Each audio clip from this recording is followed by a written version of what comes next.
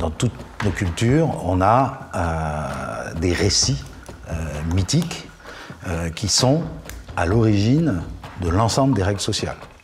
Et là, il y a une chose très intéressante par rapport à ce qu'on disait tout à l'heure sur le, fait, par exemple, les interdits. Hein, le, fait que, ça c'est René Girard qui le dit le mieux, mais enfin, c'est pas, pas le seul, le fait que dans, dans les récits mythiques, les dieux soient ceux qui violent les interdits, fassent ce qu'il ne faut pas faire, c'est quand même un truc assez, impressionnant. Hein. Euh, et donc l'idée euh, que l'on peut développer, c'est que c'est en racontant euh, des choses qui se sont passées que les, premiers groupes humains ont pu se mettre d'accord sur ce qu'il ne fallait pas faire.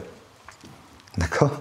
Et que donc mettre en place des règles sociales, des, des régulations sociales qui ont dû être un, énorme problème euh, au début de l'humanité parce que l'intelligence individuelle progressant, euh, toutes sortes de comportements asociaux devenaient possibles. Euh, un, singe qui veut se battre pour devenir le, leader de la tribu, il n'a pas tellement le choix. Il faut qu'il se batte à la loyale devant les autres. Hein, et puis après, il y a tout un rituel pour euh, se réconcilier, etc. Une fois qu'on sait qui a, gagné, euh, et le groupe est ressoudé immédiatement. Ça, euh, c'est très très bien raconté par France de Valls, par exemple. Mais les humains, avec leur intelligence, peuvent aller au-delà de, de, ces trucs-là. On peut tuer l'autre en traître, on peut.